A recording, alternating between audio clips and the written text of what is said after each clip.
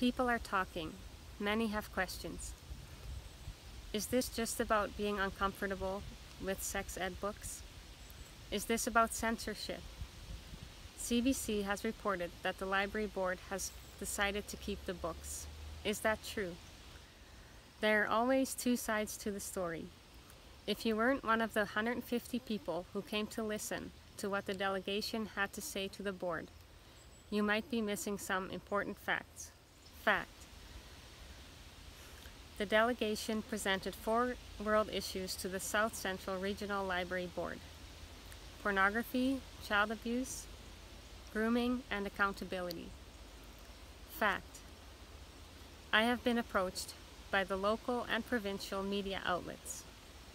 I have responded to every request, either by doing an interview or sending a statement. Some media stations have chosen to say that no statement was given. Others have chosen to edit the statement to not include quoting the criminal code. Fact. The foundation of the presentation was the Criminal Code of Canada.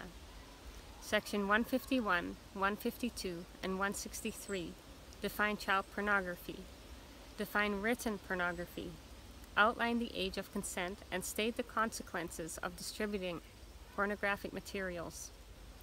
Google the criminal code and see what it says for yourself. We are not inventing the boundaries. The law is the law. Fact. Under the topic of grooming, one of the books discussed was the novel All Boys Aren't Blue, temporarily pulled from the online selection of the South Central Regional Library. Allow me to read the section of this book that was presented to the board. The, nar the narrator is a 10-year-old boy. Page 206. You were much taller than me, probably by about a good foot. You told me to take off my pajama pants, which I did. You then took off your shorts, followed by your boxers. You stood there, fully erect, and said, Taste it.